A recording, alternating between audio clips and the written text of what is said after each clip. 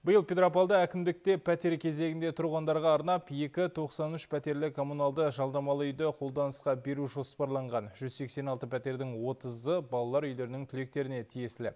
Василий Костюков бұл тізімде 15 жылдай тұр, алайда әлі күнге дейін заңды пәтердің кілті бұйырмай келеді.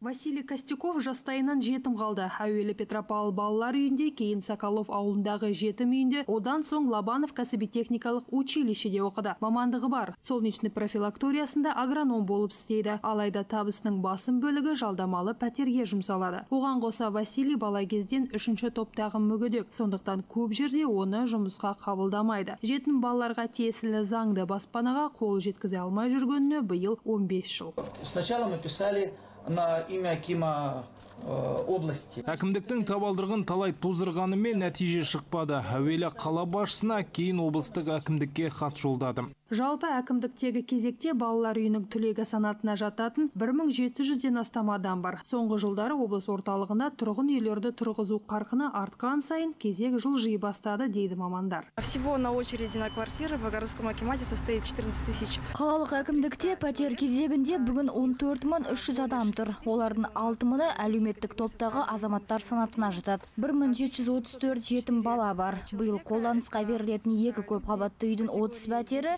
балалар үйінің түлектеріне беріледі. Біздің кейіпкеріміз болса, бұл тізімде 525-ші тұр, яғни армандаған баспанасын әлі де күтуге тура келеді. Әсел Оразбаева, Елена Горбань, Орал Амренов, жаңалықтар қызметі.